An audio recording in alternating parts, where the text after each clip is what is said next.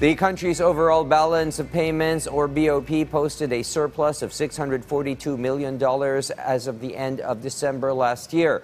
The surplus came mainly from government's net foreign currency deposits, net income of investments abroad, and the net foreign exchange operations. The nation's full year BOP level in the previous year reached $3.7 billion in surplus. Meanwhile, the gross international reserves or GIR level reached $103.8 billion as of last month. This is higher than the $102.7 billion recorded in November of 2023.